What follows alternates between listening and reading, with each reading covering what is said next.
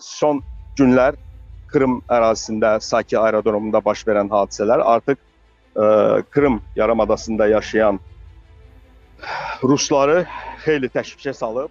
Son günlər ruslar Krımı kütləvi sürətdə tərk edir. Bu haqda Kanal 13-ün Kiyevdə olan əməkdaşı İdraç Samalbəyli canlı yayında məlumat verib. Jurnalist günlərdir ki, Krım körpüsündə 25-30 kilometrlik tıxazların olduğunu da bildirib.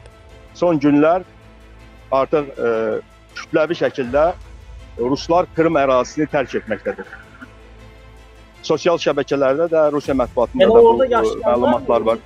Bəli, bəli, yaşayan, e, bəli, yaşayan Rus əhalisi olduğu üçün turistlər çox olurdu. Yəni deyirlər turistlər qayıdırlar, amma siz deyirsiniz ki, yaşayanlar da artıq Ə, edir. müharibə müharibə başlayandan demək olar ki, turistlərin də ora axını çox azalıb. Söhbət məhz e, Krımda yaşayan e, Rus əhalisindən gedir. Artıq e, Krım körpüsü ərazisində 25-30 kilometrlərlə e, avtomobillərdən ibarət e, tıxac yarandığı qeyd olunur.